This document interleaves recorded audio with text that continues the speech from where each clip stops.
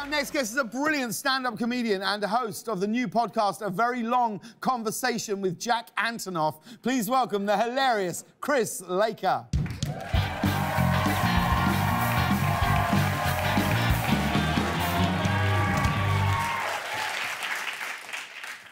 I get asked if I'm okay a lot. it's fine. People are concerned about my face. It's just that after I say, yeah, I'm okay, they always come back with, are you sure? I have a girlfriend, I live with her. There's, there's a person who loves me. Uh, she's more successful than me, she makes more money than me, which one of us had to do that. we couldn't both make as much money as me and live indoors. But I know some dudes, they say to me, Oh, I could never be with a woman who makes more money than me. And I tell them, Give it a shot. it's pretty cool.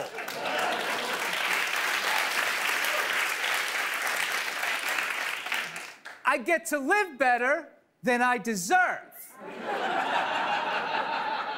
and we get to be feminists together. I love being feminist. It's my favorite thing to do.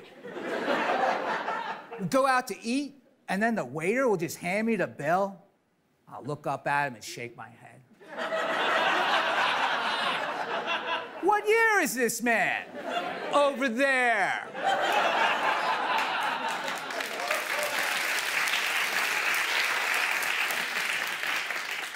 my girlfriend's a millennial. I'm not, but she is, and I got my couch in the mail, so I feel like I'm close.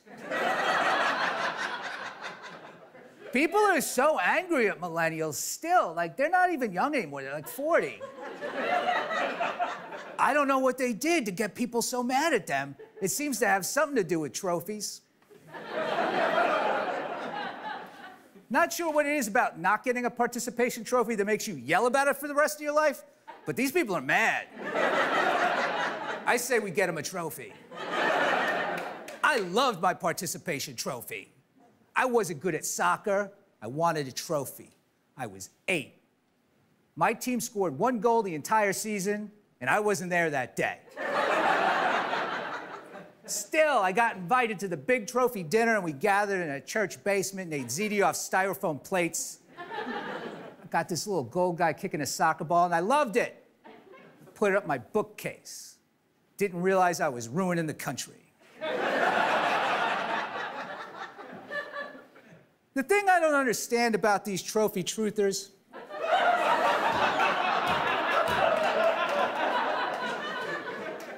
They seem to be saying, you know what's way too easy that we need to make more difficult?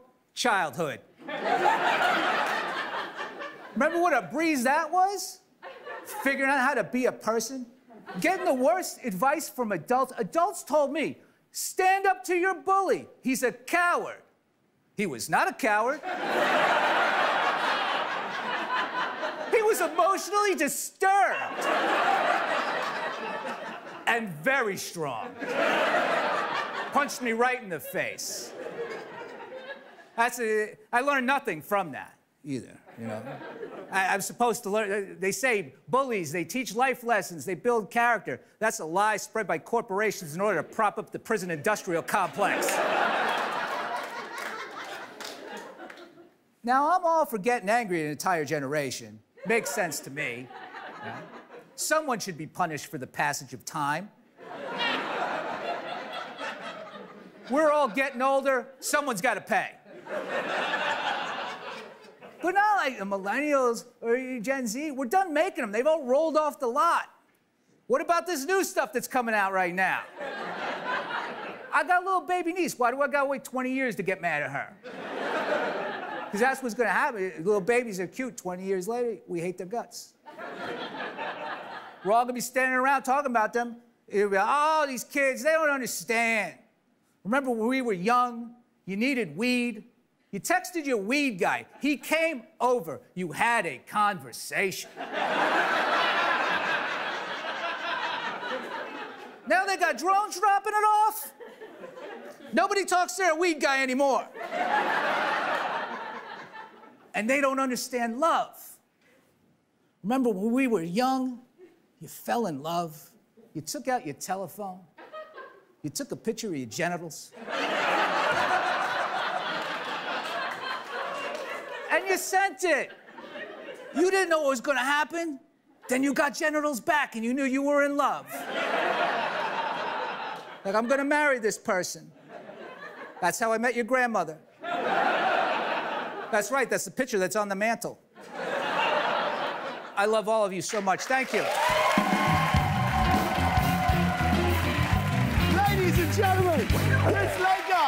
Check out his podcast, A Very Long Conversation with Jack Antonoff. It's streaming now. We'll be right back, everybody.